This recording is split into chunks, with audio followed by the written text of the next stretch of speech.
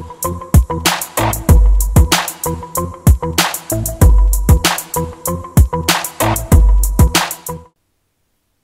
everybody, welcome back. Daisy Daniel here, certified teacher and life coach, going on a personal journey to grow my hair out gray, get a little bit leaner, fitter, healthier. This month's video is on my fourth month journey of growing my hair out gray. Can't believe it's been four months already. Time just flies when you're having fun, I tell you. Listen, the topic we're talking about today is discovering the pattern of your battle scars, the pattern in your hair. If you know someone who has some battle scars, okay? If you know someone who maybe is a cutter, okay, they have some battle scars that they could physically see and remember different things in their past, in their life. If you know someone who's gone through very bad trauma, this video is going to be very helpful to them. Please forward it to your friends. Also, I am going to be starting if I have enough interest, a community group where we will meet once a month to go over some of the topics that I talk about on my YouTube channel and on my website. If you are interested in joining this community group, please send me a little message or email me, better, even better, email me on my website, My Moment Life LC, which stands for lifecoaching.com. Send me an email, let me know that you're interested. If I have enough interest, uh, people showing interest, I will form this group and it'll be a lot of fun. Anyway, here we go. We are going to start with this topic, discover the pattern of my battle scars. This was one of my five reasons for wanting to grow gray. I turned 50 this year. I wanted to do something exciting, innovative, different for me, and adventurous. And I chose something that would be hard to do, but doable. And right now, growing your hair out gray is actually a trend.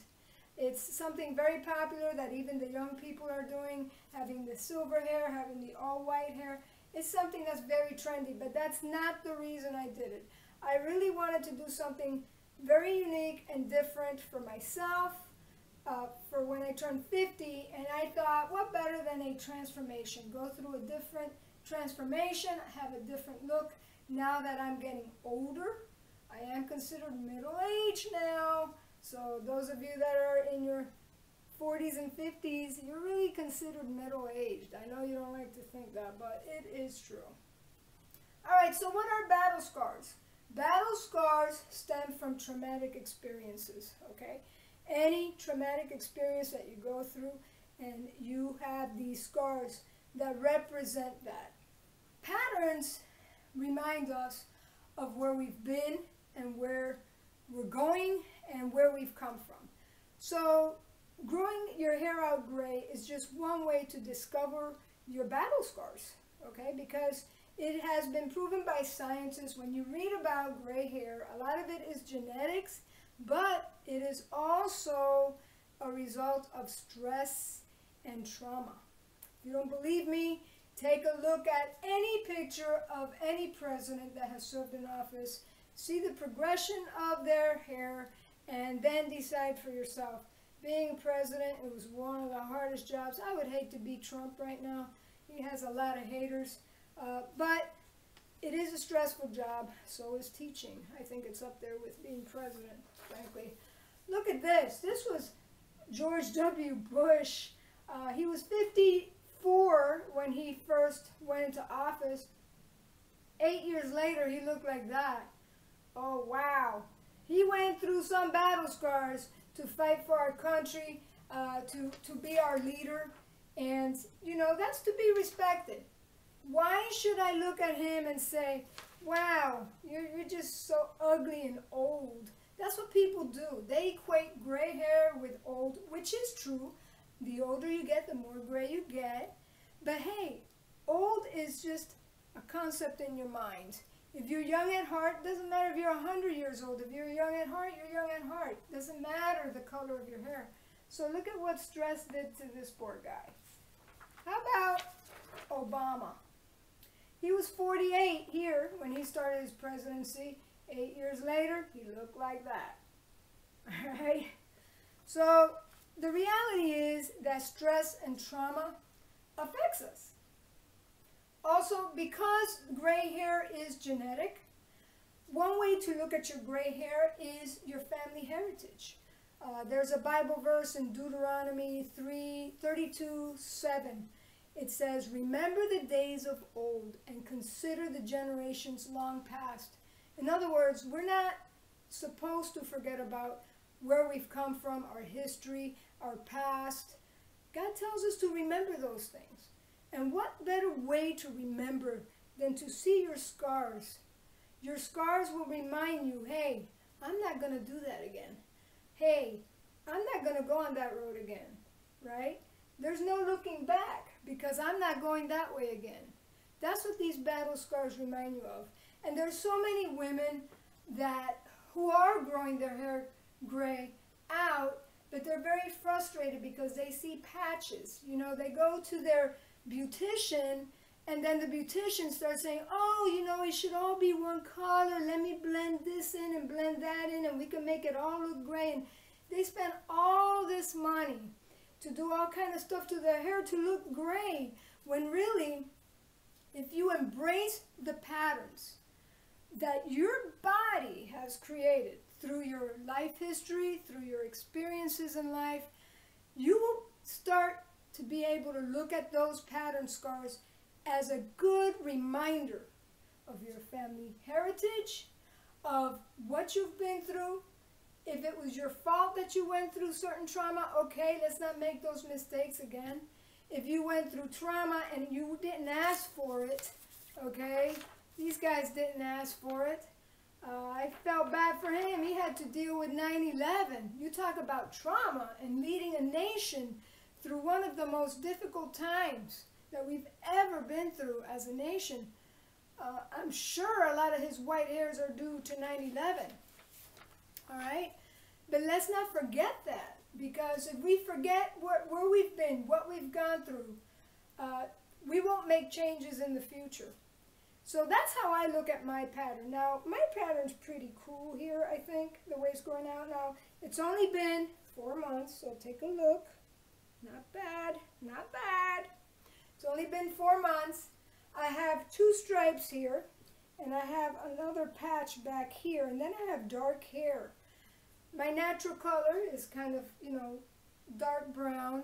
I have dyed it, as you could tell, to a lighter color. And, you know, with time, the ends are going to get brassy, and who knows what color they're going to be. It's going to be an entertaining video to watch for sure. But when I saw these stripes coming out, I thought, wow, that's so cool. I've been doing a lot of reflecting, self-reflecting on my life, my past, my history, and now this little journey I'm going on is causing me to reflect a lot. And it made me think, wow, my hair is like really close to my brain. So I started doing some research and reading about the brain. So this is what I've done. I have used these pattern battle scars as a metaphor for the parts of the brain where these battle scars are located. So follow me for a minute. These stripes are in the front of my brain, right? Okay. The front of my brain controls my memory and my motivation. Wow, that is so powerful. The front of your brain controls your memory and your motivation. I've always been a very highly motivated person. I would say not so much when I was younger, but as a young adult till now, I've always been very highly motivated. So my frontal lobe has really been exercised. I am a motivated person.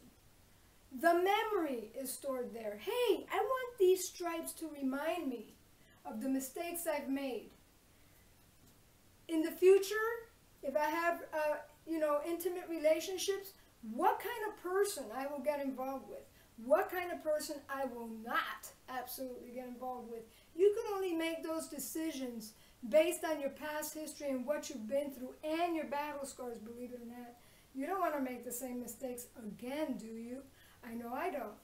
Okay, so these stripes right here remind me to stay motivated, to do God's will for my life, to be fearless, and to every day motivate myself and motivate others, which is what I strive to do anyway in the careers that I have chosen to uh, use my time in. That's the front. Amazing.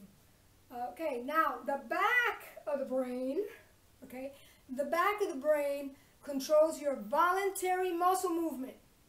Not involuntary, voluntary, where I will go, what I will do with my body. Okay? These stripes back here are going to remind me that I control my body. My body doesn't control me. Okay? And that's something very important to remember when I want to eat a Twinkie, when it's past my eating time, because I'm doing intermittent fasting. And I control my body, my mouth, what tell it what to do. It also controls your posture. Okay? One definition for posture is your approach and your attitude towards life. What is your posture? Uh, equ equilibrium, which is your balance. Are you a balanced person? All right, these stripes back here are going to remind me to be balanced and to choose my movements wisely, what I do with my body and with myself, who I am as a person. Start looking at your battle scars that way, whatever they are, okay? physical scars. Uh, you know, cutting is like girls are doing it left and right, and it's a very sad thing to observe. Uh, if you have family members that are doing that, I feel for you. I, I know what that's like. I did volunteer work for a year at a girls' home of sex trafficked girls, and I could tell you that these girls were beautiful and they had a lot going for them, yet they would cut themselves. And you can't wrap your mind around that. But I would teach them about their battle scars and to move forward in life and to go forward and be a healthy person. Some took my advice, some didn't. Okay? That's just how it is. It's a, a painful, painful, painful career when you're dealing with people and motivation and changing your mind and doing what you were created to do here on earth. Many people just can't get past certain traumas, all right? Let alone, die, you know, let their hair grow out gray. I think they're so afraid to see their patterns. They're like, no, I don't want to see no pattern. I'm going to cover up my pattern. I'm going to cover it up. That's not to say that it's wrong to dye your hair because I am the first to tell you that once this journey is over, and if I don't like the way I look, I don't care if I look old or young, if I don't like it, I will change it. So it's not a sin to dye your hair. I am just trying to give you some tools to help you with your thinking and how you process this whole thing about gray hair. It is part of life, and it will happen to you if it hasn't happened already. All right. My grandma used to say, you know, and this is part of the thinking and the mentality, my grandma used to say, gray hairs are sick hairs. No, they're not. You know, she didn't know any better. Probably her mother told her that, okay? That her gray hairs were sick hairs. Uh, you know, that's not true, all right? So we will learn more about how hair turns gray and all that in future videos. By the way, if you have a topic regarding growing your gray hair out that you would like for me to research, talk about, and share with all of you. Let me know. Send me a comment, send me an email. Let me know what you are interested in doing and learning, and I will research it for you, okay? All right, so that was discover the pattern of my battle scars. That's all I got for you regarding that. Let's go ahead and put a little check here. Sorry, guys, that's the teacher in me. Okay, now I'm going to give you some uh, monthly coaching tips my highs and my lows for the month. All right, my high was that I went on a interview, two interviews for the same company. And the first time I was going to go, I was a little nervous because I thought, yeah, you know, I got, I love my battle scars, but, you know, not everyone understands what you're doing. Not everyone knows my journey I'm on. And I personally used to judge people whenever I would see their hair like one color all the way down to here and then really weird color all the way down. I would judge them and, and think to myself, wow, that's neglectful. That That's just the word that would pop into my head. That's just so neglectful. They, they are so neglecting themselves. I'm so sorry I used to think that way. I no longer think that way. Everyone does different things to their hair uh, to make a statement in different ways. It represents different things to them. And if someone has blue hair or purple hair or bald head, that's, you know, their business and, and they have a reason for doing that. And we frankly just don't know their history or why they're bald. They could have cancer for all I know. I'm no one to judge, right? But I used to look at women that way. So when I went on this interview, I started thinking, what if they think I'm like neglectful? I'm like the most motivational person I know. Well, one of them. There's many people I admire that are very motivational, but I'm highly motivated. I'm not neglectful. And I kept thinking that. And then I just turned it around and I said, no, that's not true. I'm going to go in there. I'm going to look the way I look. I don't need to give explanations. I don't need to tell them why my hair looks this way. It is my business. It's my hair. And if they don't like it, they don't have to hire me. And that's okay. So that, that was my high. I was happy with my attitude. I had good posture with my attitude. Yeah, yeah. That's that back of the brain working for me right there. My battle scars right back here came through for me. My low. Okay, well, I had a family member who is male. I'm not going to name names. Tell me that they did not like the way my hair looked. And initially it hurt. It was like, because we want to be liked by people. We want to be loved, don't we? And this is a person that I value their opinion. And then, so I asked, oh, that's interesting. How come? And they said, well, you look, it makes you look old. Which made me remember a couple months back, I had another relative, male relative, again, tell me that I look old. It's going to make, first of all, they haven't even seen my gray hair grown out. It's like two inches, people. How could they make a judgment on something that's hardly even evolved yet? But it made me think about men and how they are so physical. And when they look at women, they just see like, like a physical object there. Not all men, obviously, but I think most men are prone towards the physical. And I am going to do a full video on that, ladies. You will not want to miss that. And men, you should watch it too because the last thing you want to do is make women feel like they're some kind of physical object because they will not respond to that. I mean, if they have self-esteem, they will not respond to that. So that was my low. My epiphany was that, I guess that was my epiphany, that men are physical and that they put a lot of attention on that. And I will do a video about that. So that was my epiphany. I got a little bit ahead of myself.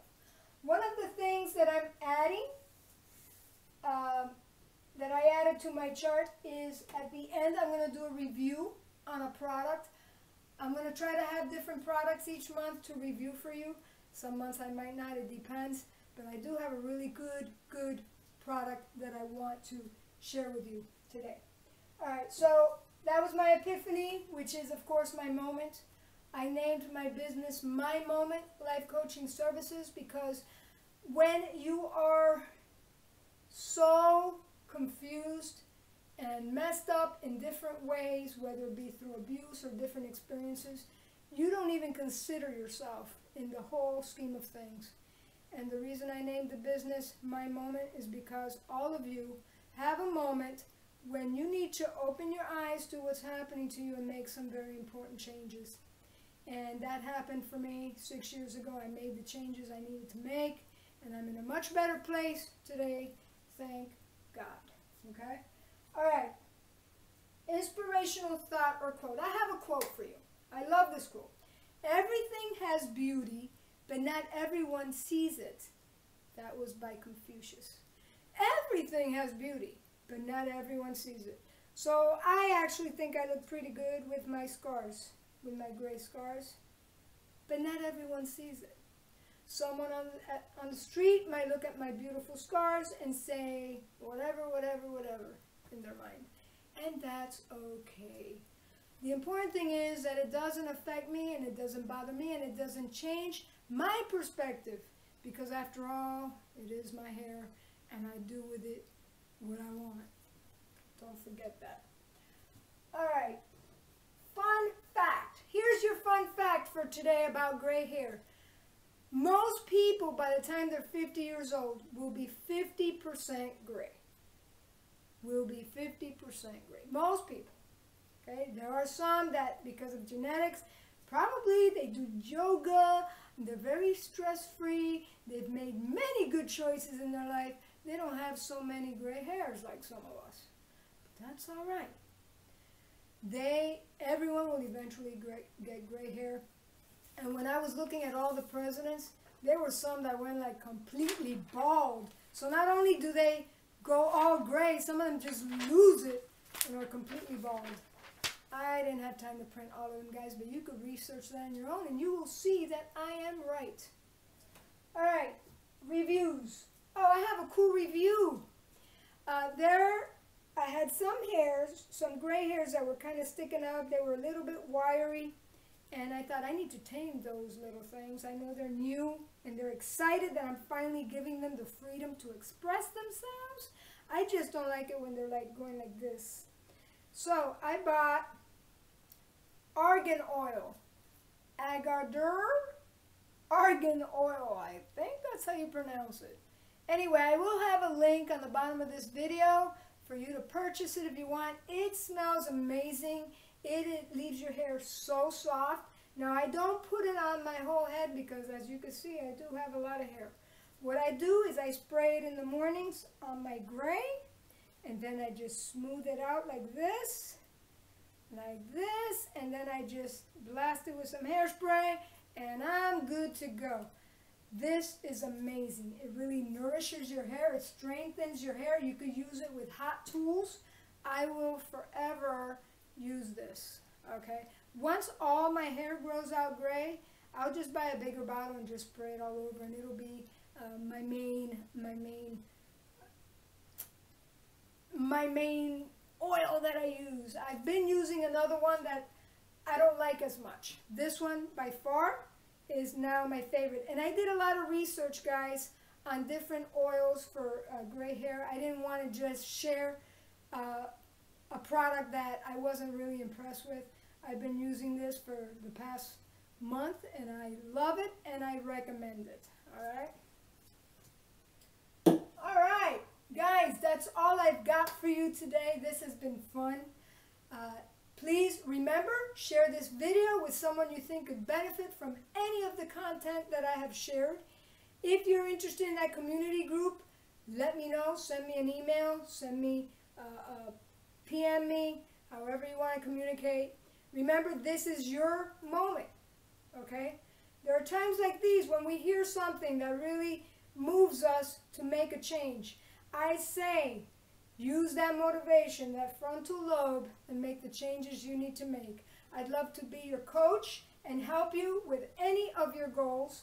I am a life coach and I help with spiritual guidance, physical challenges or goals you have, you name it. I love to help people who are recovering from abuse and past trauma, and you can read more about that on my website when you visit www.mymomentslc.com. And do not forget, you do you, boo. Till next time, bye.